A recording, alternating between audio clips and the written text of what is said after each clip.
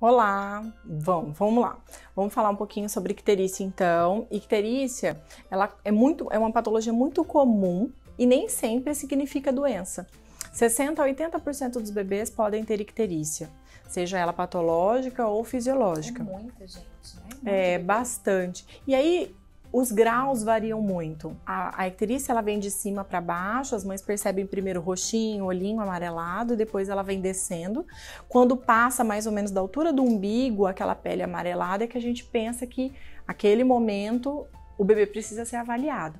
Isso muitas vezes acontece fora da maternidade, que entre o terceiro e o quinto dia são os picos da icterícia. Por que, que o bebê fica ictérico? Porque o metabolismo do fígado é o que é um órgão muito importante na parte da digestão, na parte do metabolismo geral de medicações e do organismo. O fígado ainda não está 100% pronto, nem nos bebês de termo.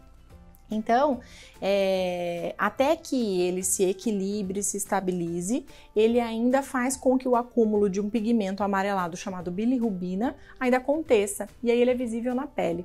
Então, quando os bebês são de termo, o pico é entre terceiro e quinto dia. Os prematuros, isso pode acontecer um pouco antes ou até um pouco depois.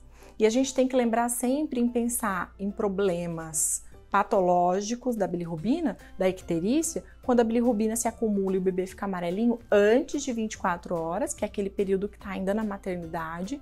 Qualquer sinal de icterícia é um alerta. Ou se o bebê aparece então amarelinho do umbiguinho para baixo Daí ele amarelou demais, mesmo estando no terceiro ou quinto dia, que são os dias de maior pico, precisa procurar o atendimento médico, precisa procurar o pediatra ou o pronto atendimento para que seja avaliado.